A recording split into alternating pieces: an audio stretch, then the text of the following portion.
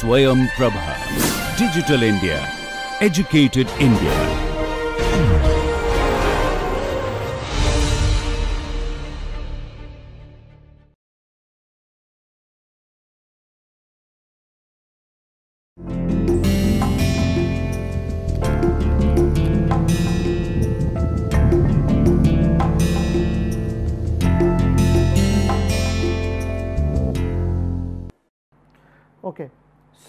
So, far we have done the reciprocating engine and done the discussion on propellers and all this. Now, we are going to look at the thermodynamical analysis or aerothermodynamic analysis of other engines.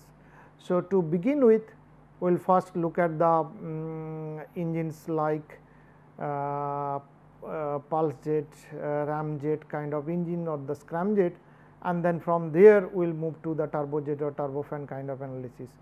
Uh, the whole idea is that when you talk about this kind of engine like pulse jet or ramjet or scramjet this uh, they do not have any rotating components. So, they are like they do not have any compressor, they do not have any turbine, its uh, geometric modifications are there or the geometric control is there which actually uh, takes care of the compression process and also that reduces the velocity before it enters to the combustion and then finally there would be nozzle which can actually um, provide the exit velocity to estimate for the thrust and all this. So, we will move to the discussion now on this kind of engines which are uh, having no rotating component. So, we will start with the engine is pulse jet okay. and then after that from pulse jet we will move to ramjet and from ramjet we will go to scramjet. So, these are the different kind of engines where the ram based cycles are there. So, they do not have the major rotating components. So, it has some sort of an entry duct and combustion chamber and nozzle. So, it is that way geometrically if one can think about it they are quite simple because the major problematic component like the rotating component are not there. So, and now when we talk about the pulse jet uh, this has very limited applications because there is a great difficulties in integration into the manned aircraft. But so the other disadvantage are very high fuel consumption, consumption, poor efficiency that is there, then uh, severe vibration, noise, high noise and all these are there. So, but other way if you think about it, it is a very simple jet engine and which can be made with a few or no moving parts. So, it has only a intake duct, combustion chamber or uh, and then the nozzle and all this. So, consequently the pulse jet engine is similar to piston engines in its intermediate combustion nature, but at the same time it is similar to all jet engines in generating thrust via reaction principle for propulsion because um, so, thus one can say that pulse jet engine resembles a traditional development between older piston engine and subsequent jet engine. So, that is kind of an uh, lies in between these two. The advantage here with the pulse jet are extremely light that is there, then uh, simple cheap, easy to construct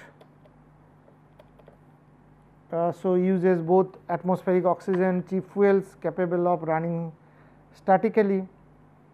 So, these are the some of the advantage. So, also pulse jet have three types we have already seen it could be valved or it could be valveless or it could be pulse detonation engine. So, these are the different things and it started with uh, I think uh, the in 1906 and 1907 when the initial work was started by the scientist Martin Wiberg that is in Sweden and then slowly there is a different kind of development which was carried under this kind of engine and now what happens later on like 1940s or early 1940s Lieutenant William Schubert of US Navy designed his valveless pulse jet engine called the Resojet. So, this is early 1940s. In between there are other development which actually took place, but its two main advantage over other design was the combustor engine has sudden expansion and produces higher turbulence for thorough mixing of air and fuels. And second one is that intake geometry was carefully designed so that the exhaust, exhaust gas does not escape before the pressure inside the chamber. Then there are other development also took place later on. And the other type which is so now the when you talk about the valve pulse jet it has an air scoop and set one way valve through which the incoming air passes which we have already seen during the introductory lecture the geometry and things like that. And um, now, if you look at that uh, now first we will start with the valved pulse jet and uh, we put uh, the simple construction of that. Let us say this is how the geometry would look like. It is a simple construction where these are the so let us say A station number 1 this is 2 station number 3 and 4. So, this is tailpipe, this is uh, fuel supply, this is combustion chamber. So, these are uh, valve and the PV diagram would be PV diagram would be like this is A, it goes here, then goes there, then goes there. So, this is A, 2, 3, 4. This is S constant, this is volume constant, this is S constant, this is P constant. So, at the same time if we put the T S diagram, this goes like this. So, A 2 3 this is V constant, this is pressure constant 4 and these are also S constant this is also S constant. Now, simple thermodynamical cycle. So, this pulse jet actually operates on typical cycle called Humphrey cycle. Okay. So, so here the isentropic compression here then uh, here the isochoric heat addition again isentropic expansion and this is isobaric heat rejection and so that it returns to the, the simple process this is isentropic constant volume constant pressure constant isentropic. So, its intake or diffuser. So, this process occurs between state A to 2 from here to 2. So, air is sucked in and into the combustion chamber through a bank of spring loaded check valve. So, A is first stream while 1 is at the pulse jet inlet and 2 is the just aft of the check valve upstream of the combustion chamber.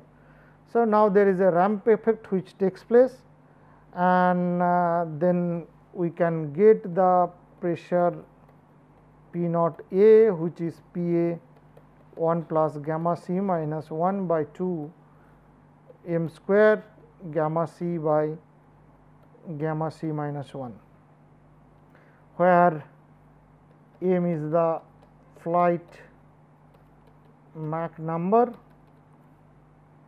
gamma c is specific heat ratio of cold air.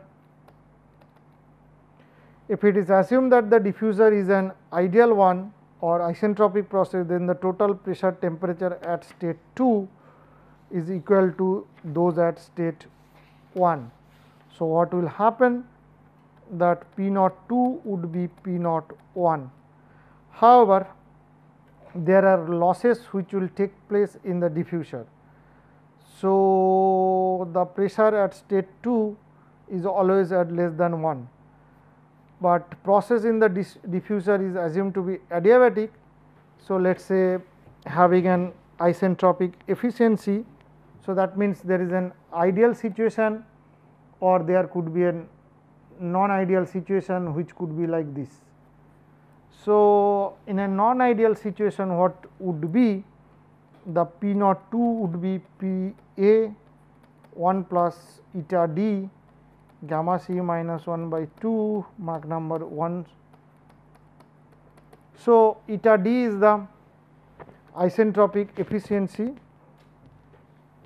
of the diffuser. So, isentropic efficiency of diffuser.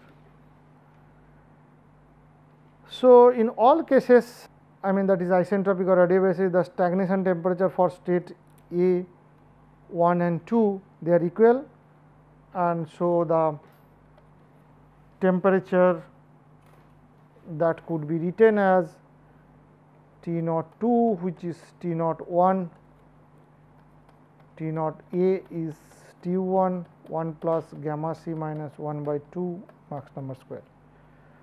Now, coming back to the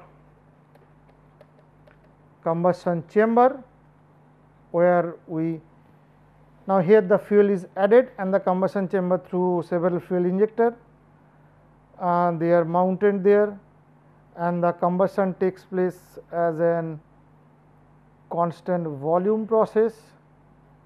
Okay. So, what we can do to calculate that.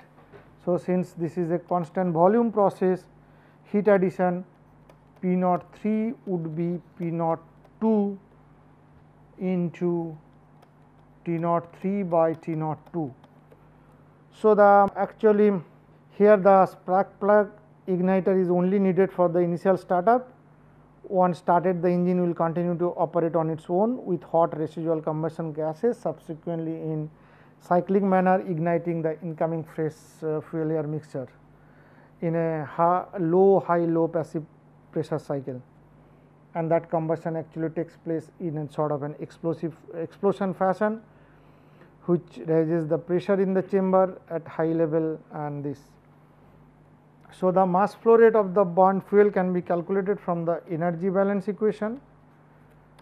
So, if we write the energy balance where m dot A plus m dot F is Cph T naught 3 is m dot A Cpc T naught 2 plus eta b m dot F QR. So, fuel air ratio is m dot F by m dot A, eta b is burner efficiency. And CPC is specific heat for cold air CPH is specific heat for hot gases. Okay. Now, from here we can find out the fuel air ratio which would be Cph T naught 3 minus Cpa T naught 2 and eta b Qr minus Cph T naught 3. So, we find out the air ratio. Now, the third is tailpipe. Okay. So, when you go to tailpipe, now the resultant high pressure and temperature forces the gas to flow out of the tailpipe with high velocity. So, if the gases are assumed to expand isentropically in tailpipe to the ambient pressure, so in that case P 4 would be P A and the temperature of the exhaust gases can be obtained through this relation T 3 by T naught 4 equals to P naught 3 by P A divided by R h minus 1 by R h. So, exhaust velocity can be now estimated which is u e is 2 C P h T naught 3 1 minus P A by P naught 3 to the power gamma h minus gamma h. And at the same time, we can calculate the thrust which is m dot A 1 plus F u e minus u and the other term like uh, TSFC which is the thrust specific fuel consumption which is m dot F by T F by T by m dot A and the thermal efficiency of the system is 1 minus gamma T A by T naught 2 which is T naught 3 by T naught 2 1 by gamma minus 1 T naught 3 by T naught 2 minus 1. So, here essentially the process is following an uh, A 3 4 1 in that cycle. So, this is how you can obtain these details of the pulse jet engine. Now, second one that we can talk about is the valveless pulse jet that is pulse jet. And uh, we have already seen this simple design which could be like it could be having a design like that. So like this. And this is where the valve is. Uh, then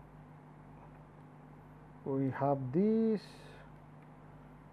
and from here it goes round and goes like this. Here it goes like that and goes like that. So, this is where the exhaust this is where fuel comes in this is the inlet and exhaust 2 so, that is a simple design that we have already seen this uh, valveless engine. This is simplistic jet engine in the world as it has no mechanical valve, but it does have aerodynamic valve which for the most part restricts the flow of the gases to a single direction. Valveless pulse jet engine is sometimes identified as acoustic jet engine or sometimes called Uh, acoustics jet engine or aero valved and or also intermittent ramjet something like that. So, this has no moving parts which means no wear it is similar to a ramjet in that respect. So, it is designed to wear issues of valves in valve type and they have all the advantage and most disadvantage of conventional bulb pulse jets. Fuel consumption is extremely high, noise level is also so fuel consumption is high, noise level is high however, they do have the troublesome reed valves that need frequent replacements. So, they can operate for their own entire useful life with practically zero maintenance. So, these have been used to power model aircraft like experimental go karts and even sometimes unmanned military aircraft like this. So, this U shaped tailpipe which is sort of a 180 degree bent is there. In this type of pulse jet the combustion generates two shock wave fronts. One travels down each tube by so one goes this side one goes that side. So, this can be built in many different sizes and other things and during startup some sort of an ignition is required and for pulsating nature of the flow parameter in pulse jet engine. So, what pulsating nature. So, several researchers were I mean some um, they have performed test and to examine the fluctuating nature of the flow. So, the fundamental operating frequency for the pulse jet F which is sort of a cycles per second uh, is uh, kind of related to the length of the pulse jet which is this L is sort of an combustion and tailpipe length of combustion chamber and tailpipe together. So, that is the typically length of that. So, in acoustic terminology, a conventional pulse jet operate on four length wave system. That is to say, it creates four pressure waves which is compression, rarefaction, rarefaction, compression. So, this is 4 L waves pattern. So, what happens this 4 pressure waves moving at or slightly above the local gas sound speed sequentially traverse the duct system that is combustor and the tailpipe. So, thus the operational period of one cycle is T cycle would be 4 L by A which is 1 by F. So, various parameters in pulses like air mass flow rate, pressure, temperature, Mach number, thrust force are pulsating in nature. So, people also do like if you look at the with time, if this is the mean, this goes like this kind of things. So, the P base pressure, pressure at Pascal, this is the P max. Similarly, the thrust also goes with time, this is second, this is thrust in Newton. So, this goes like thrust this segment then goes like that then again and then we have this is T mean and this is the T max. So, so this shows an idealized sinusoidal fluctuation of pressure in the combustion chamber and this is the thrust. So, they are now upper and lower absolute pressure limits and there is an idealized basement. Since they are nearly equal in magnitude, so the delta P would be plus minus 100 percent for a symmetrical cycle where vacuum limit or P is almost 0 as the most negative trough point possible in the idealized sinusoidal cycle here. So, analogous to idealized combustor pressure time cycle. So, this is what the thrust time profile could be there. So, if you assume there is no appreciable negative thrust resulting from backflow during the induction phase of the operational cycle, the remaining positive components of the cycle thrust profile would produce a net mean thrust. So, the net mean thrust would be T max by pi.